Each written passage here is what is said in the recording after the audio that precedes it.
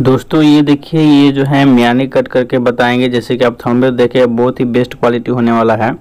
तो चलिए, इसको हम कटिंग करेंगे। ये जो है, आप सलवार में, पैजामा में अंदर पैट में, ई से और भी कुछ में लगा सकते हैं। तो ये देखिए, इसका जो लेंथ हम लेंगे, वो आठ इंच लेंगे, ठीक है? जैसे कि ये देख लीजिए, बिल्कुल नज़दीक से आठ इंची है और आठ इंची पर जो इसको हम कट कर देंगे। तो ये कुछ ज़्यादा है बट नहीं भी कट करते तो चलता। बट आप सभी को जो है अच्छे तरीके से समझ में आना चाहिए इसी तरीके से। इसलिए जो है हम कट कर दिए हैं।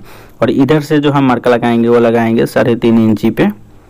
ये देखिए, साढ़े तीन इंची पे हम इस तरीके से मार्का लगा दिए हैं। ये सब मार्का क्यों लगा रहे हैं? ताकि आप अच्छी तरीके से डिटेल्स में समझ रहे समझ पाएँ।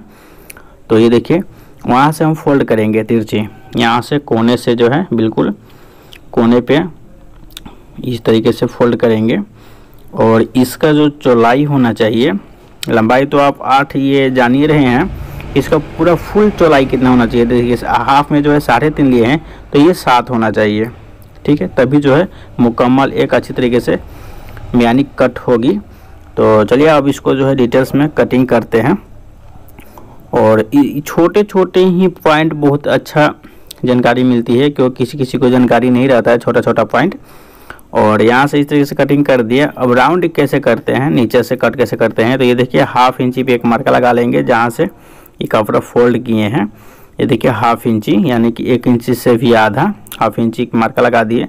और यहाँ से जो है, आप डॉट डॉट भी मार्का लगा सकते हैं या डायरेक्ट कैंची से काट सकते हैं। तो ये देखिए, कैंची के द्वारा ही हल्का राउंड करके हम इसको कट किए अब इसको जो है, हम हल्का ओपन करते हैं, किस तरीके की दिख रहा है ये देखिए। बिल्कुल राउंड हो गया तो बिल्कुल राउंड नहीं, हल्का जो है, राउंड रखेंगे। जहाँ से बिल्कुल राउंड है, वहाँ से हल्का कट कर देंगे मिलाकर।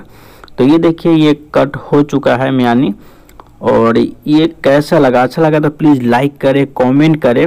और आप सभी से एक रिक्वेस्ट है कि ये वीडियो अच्छी लगी होगी तो प्लीज़ आप मेरे चैनल पर फ़र्स्ट बार है, सब्सक्राइब नहीं किए हैं तो सब्सक्राइब कर ले।